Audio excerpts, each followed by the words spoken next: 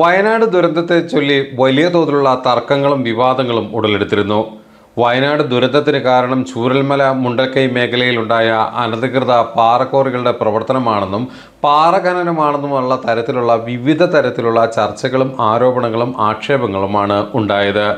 കേന്ദ്ര സർക്കാർ കേരളത്തെ വരിഞ്ഞു മുറുക്കാൻ ഒരു കാരണമായി ഈ വിഷയത്തെ തന്നെ ഉയർത്തിക്കൊണ്ടുവന്നത് പല കോണുകളിൽ നിന്നും രൂക്ഷമായ വിമർശനത്തിന് കാരണമായിട്ടുണ്ട്.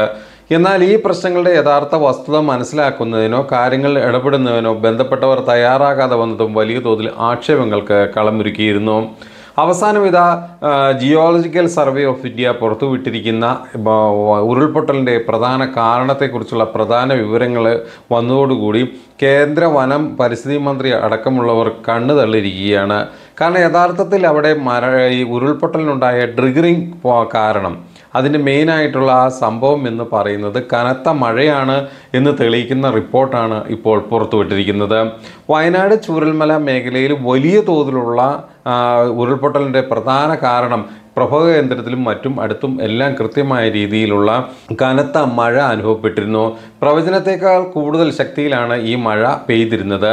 രണ്ടായിരത്തി പതിനെട്ട് മുതൽ ഇത്തരത്തിലുള്ള വലിയ തോതിലുള്ള മഴയ്ക്ക് കാരണമായിരുന്നു അല്ലെങ്കിൽ മഴ ഉണ്ടായിരുന്നു എന്നുള്ള പുതിയ വിവരങ്ങളാണ് ഇപ്പോൾ പുറത്തു വരുന്നത് കേരളത്തിന്റെ ചില തെറ്റായ പാരിസ്ഥിതിക പ്രവർത്തനങ്ങളും പാരിസ്ഥിതിയെ മുറിവേൽപ്പിച്ചുകൊണ്ടുള്ള പ്രവർത്തനങ്ങൾ മൂലമാണ് വയനാട്ടിൽ ഈ പ്രശ്നങ്ങൾക്ക് കാരണമെന്ന് തുടങ്ങുന്ന വിവിധ തരത്തിലുള്ള ആക്ഷേപങ്ങളും ആരോപണങ്ങളുമാണ് ഇവിടെ ഉന്നയിക്കപ്പെട്ടത്.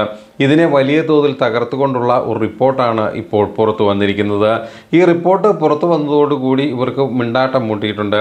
കാരണം എങ്ങനെയെങ്കിലും ഈ പണം നൽകാതിരിക്കാൻ അല്ലെങ്കിൽ കേന്ദ്രം കേരളത്തെ എങ്ങനെയെങ്കിലും ഈ പേരിലെങ്കിലും വരിഞ്ഞു മുറുക്കാൻ കിട്ടിയ അവസരം രാഷ്ട്രീയമായി തന്നെ ഉപയോഗിക്കുക എന്നുള്ള ഗൂഢലക്ഷ്യ ലക്ഷ്യമായിരുന്നു ഇവിടെ ഉണ്ടായിരുന്നത്. ഇതിനാണ് ഇപ്പോൾ മുറിവേറ്റിരിക്കുന്നത്. ഇനി എന്ത് ചെയ്യും? ഈ ജിയോളജിക്കൽ സർവേ ഓഫ് ഇന്ത്യയെ കൃത്യസമയത്ത് ഈ റിപ്പോർട്ട് പുറത്തുവിട്ടതോടുകൂടി ഇനി എന്ത് ചെയ്യുമെന്ന് അറിയാത്ത ഒരു സാഹചര്യം നിലനിൽക്കുകയാണ്. ഇന്നലെയാണെങ്കിൽ നരേന്ദ്രമോദി കേരളത്തിലെത്തി. സന്ദർശനം നടത്തി മുന്നോട്ട് പോവുകയും അതോടൊപ്പം തന്നെ ദുരിതബാധിത മേഖലയിലെ ആളുകളെ നേരിൽ കാണുകയും ദുരിതാശ്വാസ ക്യാമ്പുകളിലെത്തി ദുരിതബാധിതരെ ആശ്വസിപ്പിക്കുകയും ചെയ്യുന്ന കാഴ്ചകൾ കണ്ടു. അതോടൊപ്പം തന്നെ കേരള ഗവർണർ ആരിഫ് മുഹമ്മദ് ഖാൻ കേരള മുഖ്യമന്ത്രി പിണറായി വിജയൻ കേന്ദ്ര സഹമന്ത്രിയായ സുരേഷ് ഗോപി അതുപോലെ തന്നെ ഐ ജി പത്മകുമാർ ഇങ്ങനെ അടക്കമുള്ള അവരുടെ നേതൃത്വത്തിൽ തന്നെ ദുരന്ത മേഖലയിലെത്തിയ പ്രധാനമന്ത്രി വലിയ തോതിൽ ആ പ്രദേശത്തുണ്ടായ സംഭവങ്ങളുടെ യാഥാർത്ഥ്യങ്ങളെക്കുറിച്ച് വളരെ വ്യക്തതയോടുകൂടി അന്വേഷിക്കുകയും ആ വിവരങ്ങൾ ശേഖരിക്കുകയും ചെയ്തിരുന്നു. ഈ വിവരങ്ങൾ കിട്ടിയതോടുകൂടി ഇപ്പോൾ ഈ പുതിയ ജിയോളജിക്കൽ സർവേ ഓഫ് ഇന്ത്യയുടെ യഥാർത്ഥ അവിടുത്തെ ദുരന്തത്തിന്റെ പ്രധാന കാരണം എന്താണെന്നുള്ള റിപ്പോർട്ട് കൂടി പുറത്തു വന്നതോടുകൂടി കൃത്യമായിട്ട് സഹായിക്കേണ്ട സാഹചര്യത്തിലേക്ക് കേന്ദ്രം നിർബന്ധിതരായിരിക്കുകയാണ്. മുൻപ് ഉയർത്തിയ ആരോപണങ്ങളും ആക്ഷേപങ്ങളും തികച്ചും തെറ്റാകുന്ന കാഴ്ചയാണ് ഇപ്പോൾ കണ്ടുവരുന്നത്.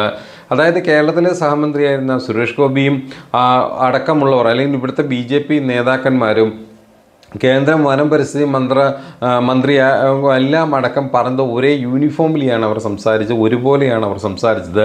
ഇതിന്റെ എല്ലാം കാരണം കേരളത്തിലെ തെറ്റായ രീതികളാണ്.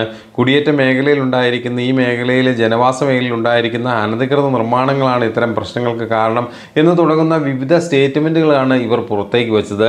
ഇപ്പോഴിതാ ജിയോളജിക്കൽ സർവേ ഓഫ് ഇന്ത്യയുടെ റിപ്പോർട്ട് പുറത്തു വന്നതോടുകൂടി ഇവർ കൂടുതൽ വെട്ടിലായിരിക്കുകയാണ്.